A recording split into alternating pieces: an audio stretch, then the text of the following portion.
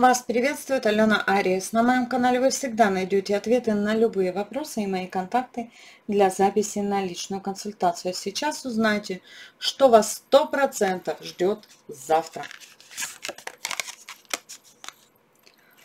Завтра, девочки, возрождение каких-то отношений. Причем не обязательно с мужчиной. И какая-то дорожка, из-за которой вы волнуетесь. Это может быть какая-то встреча важная для вас.